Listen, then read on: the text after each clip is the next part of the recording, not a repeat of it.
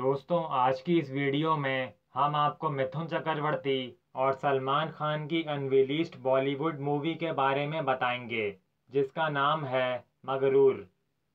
और इस मूवी की लीडिंग कास्ट में मौजूद थे मिथुन चक्रवर्ती, सलमान खान, मनीषा कोयराला जेबा बख्तियार, प्रेम चोपड़ा, जॉनी लीवर, आनंद बलराज, महमूद और बिंदु।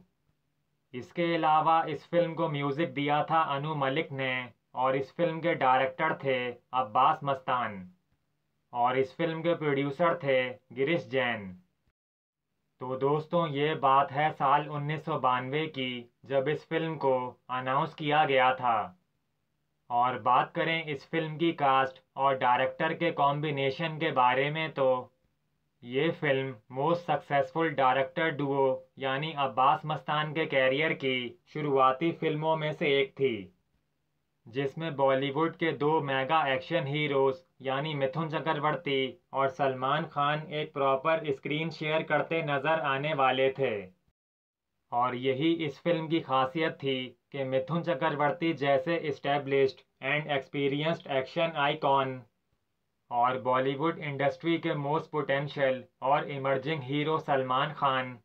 एक रिलायबल फ़िल्म मेकर्स यानी अब्बास मस्तान के साथ एसोसिएट थे। और मेरे ख्याल से, ये फ़िल्म मेकर्स और लीडिंग कास्ट का कॉम्बिनेशन 90s एरा के हिसाब से एक अनइमेजिनेबल ब्लॉकबस्टर देने की काबिलियत रखता था।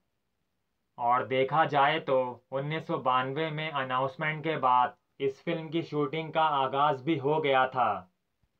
लेकिन फिर 60 से 70 परसेंट तक शूटिंग कंप्लीट होने के बाद ये फ़िल्म किसी अननोन रीज़न की वजह से बीच में ही रोक दी गई थी और पूरी कंप्लीट ही नहीं हो सकी थी। और इस तरह से मिथुन चक्रवर्ती और सलमान खान का आइकॉनिक पेयर 90s में एक साथ आ ही नहीं सका।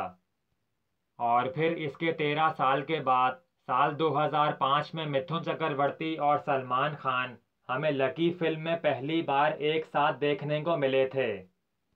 और इसके बाद ये दोनों हीरोज, युवराज, वीर और किक में भी एक साथ काम कर चुके हैं।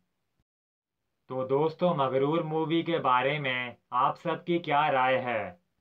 कि मिथुन चक्रवर्ती और सलमान खान की ये मूवी अगर उस टाइम पे पूरी कंप्लीट हो के रिलीज़ हो जाती तो बॉक्स ऑफ़िस पे हिट होती सुपर हिट होती, या फिर ब्लॉकबस्टर हमें नीचे कमेंट्स बॉक्स में अपनी राय ज़रूर दीजिएगा। और अगर आप मिथुन चक्रवर्ती और सलमान खान को पसंद करते हैं तो हमारी इस वीडियो को लाइक और अपने दोस्तों में शेयर करना ना भूलिएगा।